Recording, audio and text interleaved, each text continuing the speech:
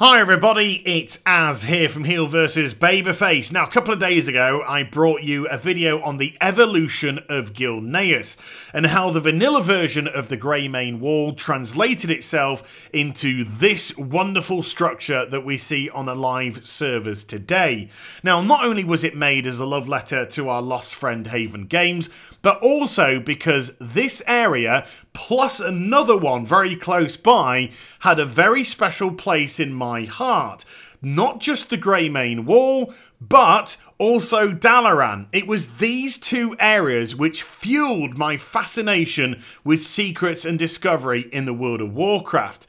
And the Greymane Wall itself was the catalyst that made me roll my first ever alt, which was a mage. And the reason why, of course, was the secret of how to get behind it. So let's turn back the clock and relive those pre-cataclysm days and see in this special secrets video how you could actually get behind the Greymane Wall.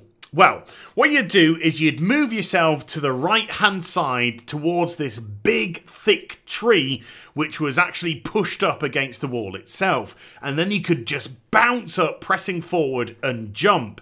Turn back on yourself and there was a crack in the wall. Now there'd be an invisible wall blocking your way however you could run up the side of it and the reason why I went and rolled a mage is because of the next trick a mage could do to get past the invisible wall. It was simply blink through it. Yeah, a mage could actually blink through the invisible wall. After that, you just ran to the end here, took a running jump, and then slow fall yourself so you could get down to the side. And because the landscape and the wall once again collided with each other, you could just use the forward button and the jump button to start bouncing your way over the top. And I remember the very first time that I did this, my excitement levels were absolutely off the chart. Now, I never expected to see the Gilneas City or anything like that. I understood the fact that Blizzard weren't going to waste their time constructing something which wasn't going to ever be seen, but I really didn't know what was going to await me when I got over the crest of the hill. However, not everybody had a mage. So was there a way to get behind the Greymane Wall if you were any other class? Well, let's just grab one at random, shall we? This shaman. And there was a couple of things that you needed to make sure. Number one, that you either didn't have your Hearthstone on you or that your Hearthstone was on cooldown. And number two, enlist the help of Blizzard to get you through the invisible wall. So just repeat everything that you did as the mage, but when you got here, you would actually click the help button. And in those days, if your character was stuck, instead of going to the nearest graveyard, Blizzard would actually nudge you in a certain direction. So you would click the unstick button, and then just before it got to the end, you'd just tap forward and you would find yourself a few meters past the invisible wall. Now, of course, this character doesn't have slow fall, and in those days there weren't really those toys which allowed you to propel yourself forward. Maybe a priest might have been able to use levitate to get past there, but a lot of classes would have been stuck, and if they tried to make the jump, as you can see, it would fail and you'd have to get back on top of the wall.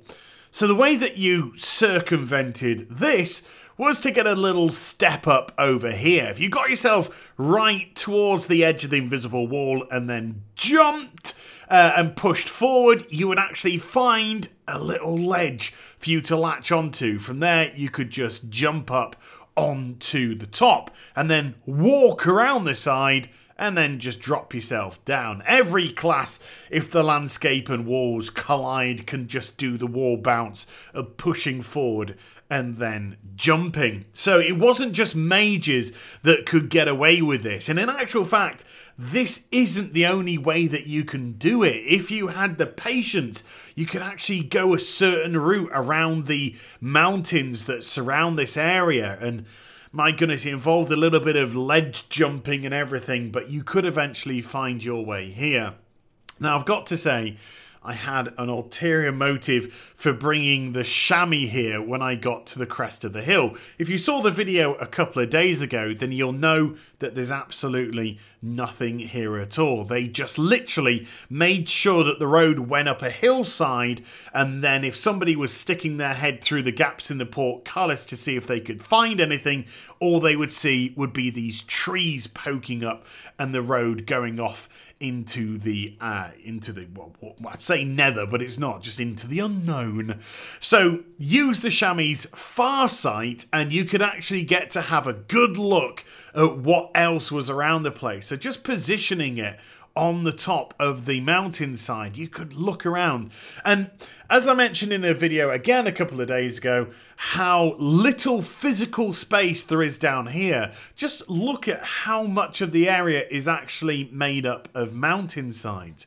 And because the current day version of Gilneas doesn't have these mountains, that in itself opened up more and more surface area for what we see on the live servers today. But there you go, an old secret about how you actually got past the Greymane wall. And I hope you enjoyed the vid. If you did, do give it a thumbs up and also subscribe to my channel. Follow me on social media and Twitch for live streaming links. They're in the description down below. And I'll be back with some more stuff very soon. You take care, everyone. Bye for now.